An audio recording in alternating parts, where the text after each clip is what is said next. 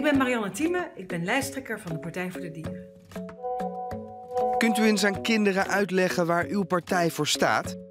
Je hebt partijen voor de rijken, partijen voor de armen, partijen voor de ouderen. Maar eigenlijk zijn het allemaal partijen die zich maar bezighouden met één groep mensen. Er is maar één partij die zich bezighoudt met de hele planeet en al zijn bewoners, mensen en dieren. En dat is de Partij voor de Dieren. Wat gaat uw partij voor eh, kinderen doen als u de verkiezingen wint?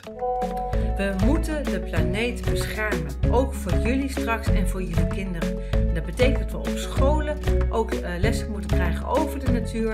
En daar staat de Partij voor de Dieren voor.